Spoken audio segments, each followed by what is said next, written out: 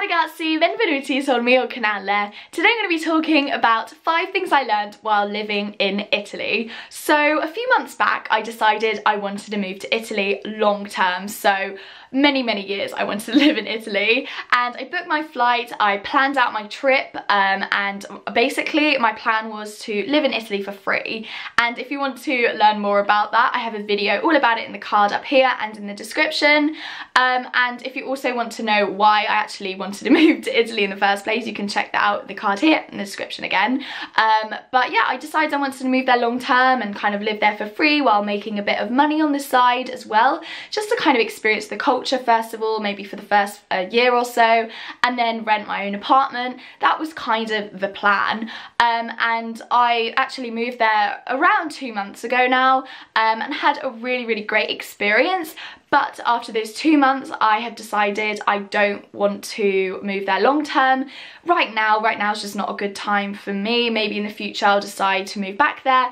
But um, yeah, it's just not, it's not the right time for me to move there long term. And I'll talk about that at the end of the video.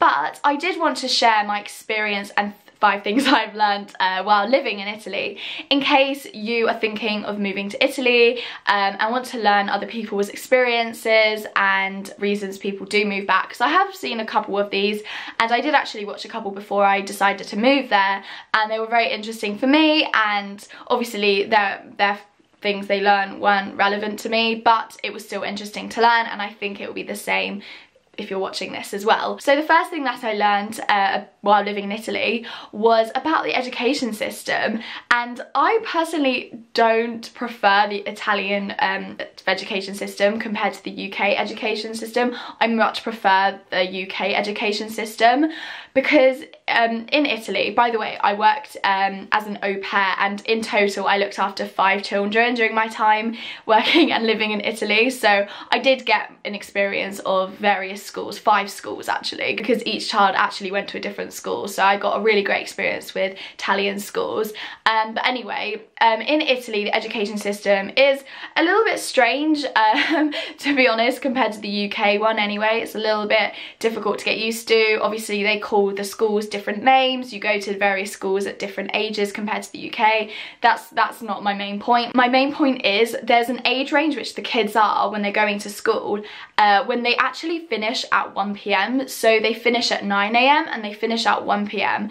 And I personally think that's really strange uh, coming from the UK anyway. And then they, by the way, they go to school on Saturday as well. So they finish halfway through the day. And I just think like for the parents, it must be really difficult to sort out like, um, I don't know, people to look after the kids when they finish at one o'clock because normally, you know, parents finish finish work at like 6 p.m. or something. So that's like five hours that the kids have nothing to do. And I just prefer the UK education system in that way because in the UK, the kids finish at like 3.30 and they can go to some sort of after school club. But in Italy, from my experience anyway, I may be mistaken. If I am mistaken, please do let me know in the comments below, um, that there isn't really any after school clubs and it's usually the grandparents who look after the children. So it's, it's nice in that way because the, the children can get to know their grandparents really well because they are with them for like five hours a day or more. Um, but also I'm like, they could be learning then and then just have their weekend off.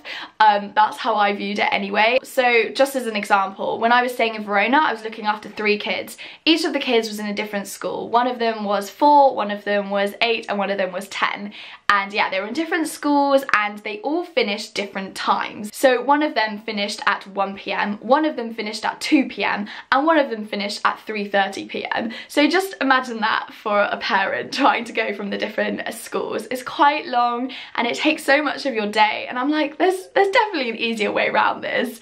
Um, just coming from an outside opinion, it, there's surely an easier way to do it. But that's just a point I wanted to make um, in this video because if you are thinking of moving to Italy with your children, just consider that Um, the school system is a little bit all over the place with the timings and there's different loads of different schools and yeah it's it's a little bit long like that but just so that you know if you are interested in moving to Italy with children. Another thing I learnt while living in Italy and this is again more specifically about Italy as a country um, there are so many places to explore in the country so with the family I was staying in Verona, they actually owned a camper van and on the weekends we would travel to different lakes and different cities. So I got to see Lake Garda, I also got to see uh, a lake like really in the north of Italy. So it was like a three hour drive from Verona and because of the camper van we got the opportunity to stay there over the weekend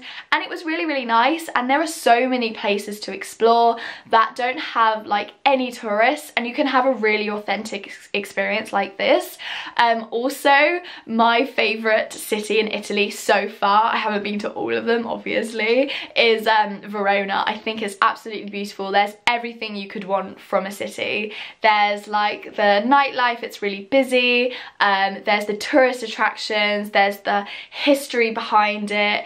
Um, there's also like you can walk to the outskirts and it's just it's just really nice and out of the way. It's just everything about Verona I absolutely love. Right now if I wanted to like rent an apartment in Italy, I would definitely go to Verona and rent an apartment there because it's relatively reasonably priced to live there and also it's just beautiful and there's so much around the city as well as in the city as well. Now the three other points that I wanted to make um, are kind of about like personal growth and about me personally what I learned and how I've like kind of developed my personality. So I found that the busier I was during my time in Italy the less I thought about like sleeping and how tired I was because in Verona I didn't get a lot of sleep. I was in a small apartment and everyone was very close to each other. I was sleeping in one of the kids rooms. Like there was no really escaping from it you know?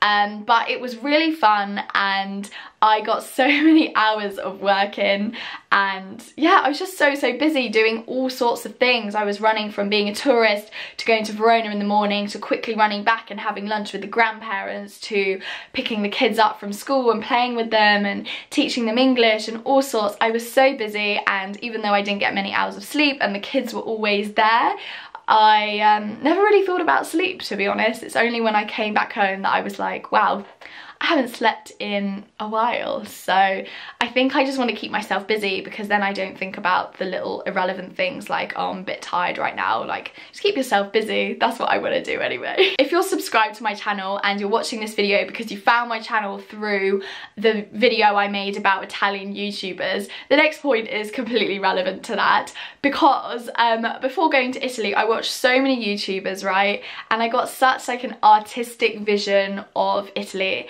and it is it's absolutely beautiful. There's there's no doubt about that. I cannot argue with that fact.